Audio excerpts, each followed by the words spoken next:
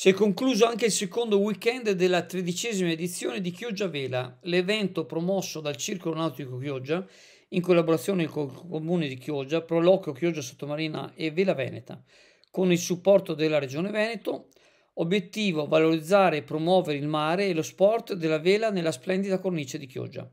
Sabato, sotto un cielo grigio, oltre 40 imbarcazioni hanno partecipato alla Barz Bash, una regata globale in contemporanea in 1105 località di 63 nazioni, con 23.536 barche partecipanti, in memoria del velesta Andre Simpson, scomparso durante l'America Cup del 2013.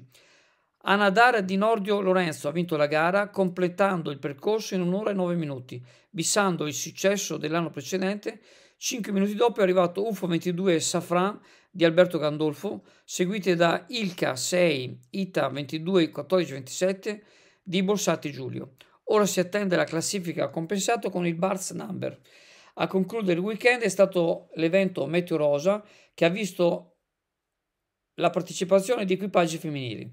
Quest'anno, in concomitanza con l'America's Cup, l'evento è stato trasformato in un match race Giorgia Bellemo del Ciclo Nautico Chioggia e Silvia Romito dello Yacht Club Padova hanno conquistato il primo posto seguite dall'equipaggio del Circolo Nautico Chioggia con Angela Tiozzo, Monica Tiozzo e Oriella Nordio. SD Auto informa della novità per il 2023, la revisione dei carrelli in sede. Si effettuano revisioni in sede dei rimorchi di massa complessiva non superiore ai 3.500 kg 01 e 02 di carrelli per imbarcazioni, per moto, per auto, roulotte, trailer per il trasporto cavalli, carrelli tenda, carrelli trasporto animali e tutti i carrelli di massa complessiva non superiore ai 3.500 kg. Potete contattare SD Auto per qualsiasi informazione o chiarimento.